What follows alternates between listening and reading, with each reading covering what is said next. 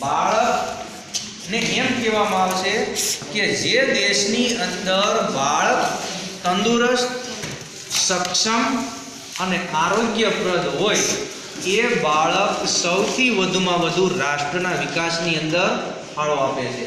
રાષ્ટ્રના વિકાસની અંદર યોગદાન આપે છે.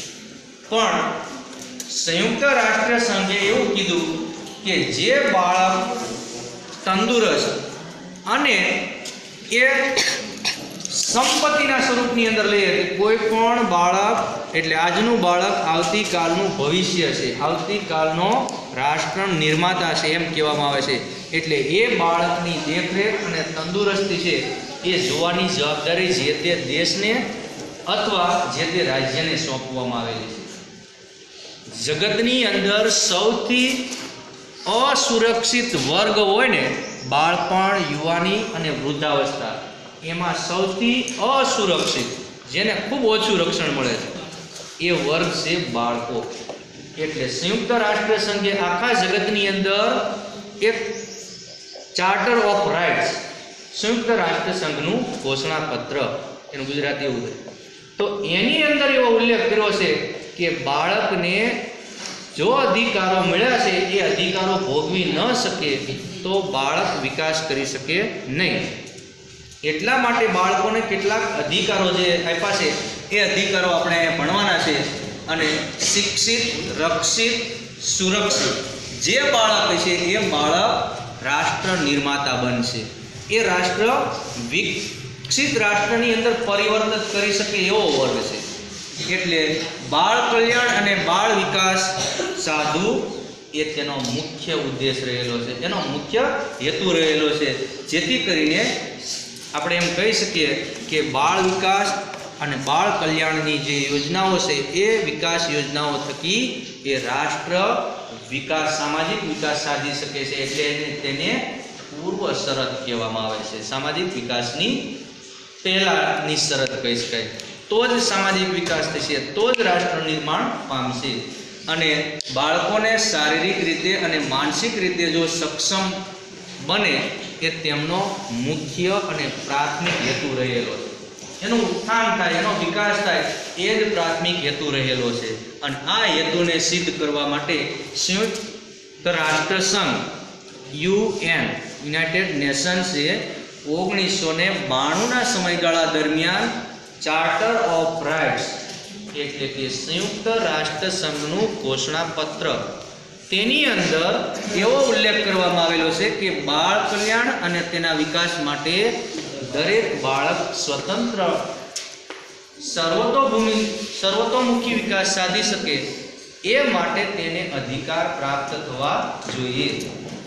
અને આ અધિકારો ભોગવશે તો બાળક સ્વતંત્ર એ વિચારો કરી શકશે અને સ્વતંત્ર વિચારો કરશે એટલે બાળક એ વધુને વધુ એ વિકાસ સાધવાની સાથે રાષ્ટ્ર નિર્માણની અંદર વધુમાં વધુ ફાળો આપી શકશે. એટલે આ બંને બાબતો છે એ બાળ વિકાસ સાથે સંકળાયેલી. ચાઇલ્ડ રાઇટ્સ બાળકોના અધિકારો તરીકેને ઓળખવામાં આવે છે. અને આ અધિકારો કયા કયા છે એની વાત કરીએ તો પહેલો અધિકાર છે જાતિ, જ્ઞાતિ, લિંગ અને ધર્મ કે રાષ્ટ્રીયતાના આધારે કોઈ પણ બાળક સાથે ભેદભાવ આચરવામાં આવશે નહીં. એટલે કે ભેદભાવ વગર જીવન જીવવાનો તેમને સંપૂર્ણ અધિકાર છે. કોઈ રાષ્ટ્ર આવો ભેદભાવ નહીં રાખે, જેથી કરીને બાળકનો વિકાસ રૂંધાય. એટલે બાળકને આ એક મહત્વનો અધિકાર આપ્યો છે કે સારામાં સારું જીવન જીવે એ માટે તેમને આ અધિકારો આપવામાં આવ્યા છે. નંબર બે માતા પિતા દ્વારા યોગ્ય પાલન પોષણ થવું જ જોઈએ એ અધિકાર એ બાળકને આપ્યો છે. જે બાળકના માતા પિતા ન હોય બાળકનો સંપૂર્ણ વિકાસ શક્ય બનતો નથી, એટલે બાળકને અધિકાર આપવામાં આવ્યો કે એનું પાલન પોષણ સારામાં સારું તેના કુટુંબમાં, તેના માતા પિતા તરફથી થવું જ જોઈએ. એટલે આ અધિકાર સંયુક્ત રાષ્ટ્ર સંઘે બાળકોને આપેલો છે. ત્યાર પછીનો ત્રીજા નંબરનો એક મહત્વનો અધિકાર છે કે દરેક બાળક દરેક પ્રકારની રમત ગમતની અંદર ભાગ લઈ શકે, મનોરંજનની અંદર ભાગ લઈ શકે અને સાથે સાથે પોતાના શારીરિક અને માનસિક વિકાસ કરી શકે તે માટે તંદુરસ્ત, સ્વસ્થ અને આનંદી જીવન જીવી શકે એ માટે પણ સંયુક્ત રાષ્ટ્ર સંઘે એને આ અધિકાર આપ્યો છે જો બાળક તંદુરસ્ત હશે તો રાષ્ટ્રનો નિર્માણ થશે, તો જ કુટુંબનો વિકાસ થશે અને તો જ રાજ્યનો વિકાસ થશે. એટલે રાજ્ય સરકાર કે કેન્દ્ર સરકાર બાળકના હિત તરફી એના તરફેણમાં એ વધુને વધુ એમ યોજનાઓ અમલમાં મૂકે છે, જેથી કરીને આવનારું જે બાળક છે બાળક રાષ્ટ્ર નિર્માણમાં પોતાનો હિસ્સો આપી શકે. અને સંપૂર્ણ આનંદમય જીવન જીવી શકે છે. ત્યાર પછીનો એક અધિકાર છે રાઇટ ટુ એજ્યુકેશન શિક્ષણ મેળવવાનો અધિકાર.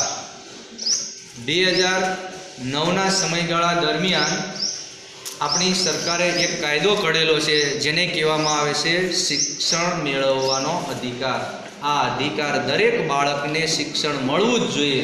એ પ્રકારનો આ કાયદો ઘડવામાં આવેલો છે અને એ મહત્વનો અધિકાર પણ સ્વીકારાયેલો છે.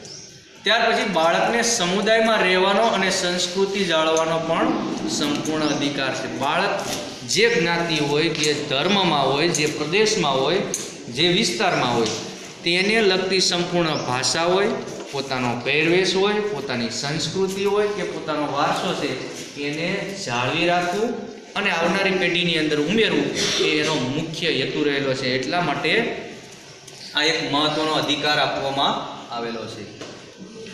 ત્યાર પછી શારીરિક કે માનસિક શોષણ સામે રક્ષણ મળે અને સલામતી મેળવી શકે એટલા માટે પણ આ અધિકાર આપવામાં આવેલો છે કે બાળક છે એને કોઈ મોટી વ્યક્તિ દ્વારા, કોઈ અન્ય સમાજની વ્યક્તિ દ્વારા એનું શોષણ ન થાય. ત્યાર પછી એને સંપૂર્ણ સલામતી જળવાય એ માટે આ પ્રકારનો અધિકાર આપવામાં આવેલો છે. અને સાતમો અધિકાર છે, દરેક બાળકોને સામાજિક સુરક્ષા દ્વારા સામાજિક વિકાસ સાધીને તંદુરસ્ત જીવન જીવવાનો અધિકાર છે. સામાજિક સુરક્ષા પ્રાપ્ત થયેલી બાળકને હશે ને તો દાખલા તરીકે સામાજિક કલ્યાણ યોજનાઓ છે, ત્યાર પછી સરકારના કેટલાક પ્રયાસો છે, એના દ્વારા બાળક વધુને વધુ એ વિચારો તો થશે અને એના દ્વારા માહિતી પ્રાપ્ત કરશે અને એ રાષ્ટ્ર વિકાસમાં યોગદાન આપી શકશે. એટલે તંદુરસ્ત જીવન જીવવા માટે આ અધિકાર સૌથી અગત્યનો છે. કે બાળક ચાઇલ્ડ રાઇટ છે એ એમ કહે છે કે હું પણ આકાશની અંદર ઉડી શકું. જે બીજી વ્યક્તિ, મોટી વ્યક્તિ છે એ વધુને વધુ આગળ વધે તો બાળક કેમ નહીં? એના સંદર્ભની અંદર આ ચાઇલ્ડ રાઇટ છે એ સંયુક્ત રાષ્ટ્ર સંઘે આપણને આપેલા છે. અને આ પિક્ચર એમ બતાવે છે કે રાઇટ ટુ એજ્યુકેશન એક્ટ. શિક્ષણ મેળવવો એ બાળકનો મૂળભૂત અને કાનૂની અધિકાર. પહેલાં માત્ર એમ જ કહેવાતું હતું કે અધિકાર મળવો જ જોઈએ.